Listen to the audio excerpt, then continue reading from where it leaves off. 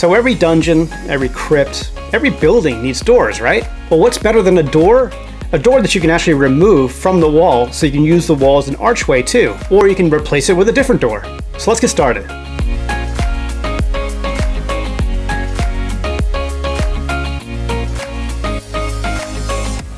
So you'll notice that pocket doors are very similar to regular walls. There's, the only difference really is that the interior section is broken into two pieces. There's a frame and then there's an insert. But for the outside walls, we're going to do the same thing. We're going to use some pre-textured wall strips. And for the interior pieces, we'll use the uh, untextured strips. So we'll start by cutting out two exterior wall pieces. And you can just trace out that, uh, that arched doorway there. You can also cut it just directly, but it is a little harder to cut something like a circle like that um, with the knife. So sometimes I prefer to trace out more complex items to cut out. And I also do it in more than one pass.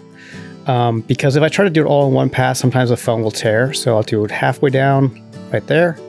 And then I'll do all the way down on the second pass.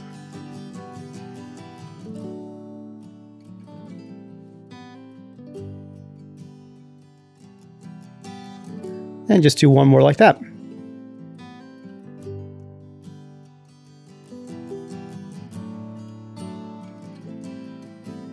And then it's time to cut the interior pieces. First, we're going to do the interior, the middle section of the wall itself. And you'll notice there's that gray bar for scaffolding, just like we had on the uh, scoring sled jig.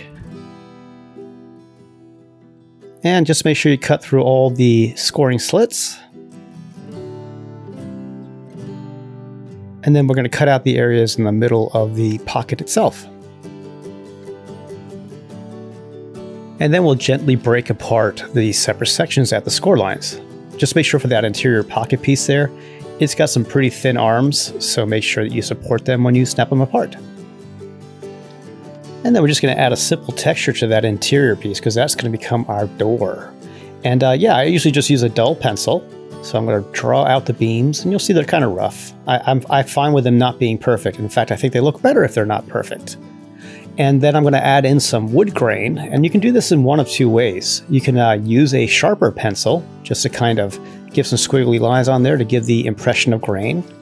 And you can also use your utility knife, which you have on hand. Uh, you can also use that to kind of cut in some little lines. Now the pencil will be a little bit more pr uh, pronounced, but the utility knife will definitely work in a pinch. For the for the knob of the door, I do uh, I basically use something anything that's kind of round and uh, that I can press down into the foam, because remember it has to be pressed into the foam so you can still like you wouldn't add a ring to the door like you do in the tavern stores because then you wouldn't be able to insert and remove the door from the pocket because the ring would be in the way. And then it's time to uh, glue all the pieces together. We're going to start with uh, gluing the wall piece to the interior. Now remember, we're going to leave that scaffolding on there because you're going to hold that interior piece by the scaffolding. And the scaffolding is going to ensure that that pocket stays the correct width to accept our door. So as just like with the regular walls, you're going to make sure you don't put any glue on the bottom part of the interior piece because that's going to be in the gutter between the grid squares. And then again, you're going to center up that interior piece left to right. That looks pretty good. Okay, so here's an important step. Now that we've gotten that glued down, we need to remove the scaffolding. If you glue the other piece of wall on before taking off the scaffolding, you're going to have a bad day because you won't be able to get it out of there. So make sure you take that scaffolding out before you put the second piece on. And you can also do a little test fit of your door. It looks pretty good. And then it's just adding some hot glue, putting the wall on, making sure it's it's positioned correctly left to right, and you're done.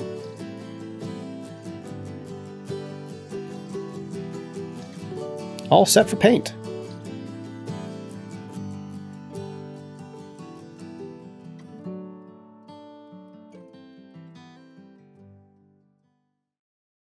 So if you haven't already, you can get started right now on your Terraino journey by downloading the Terraino construction manuals at GameGearMaster.com. They are consistently rated 5 stars and come with a 14-day hassle-free money-back guarantee. That means if Terraino's not for you, No problem, you'll get your money back, no questions asked. Happy crafting.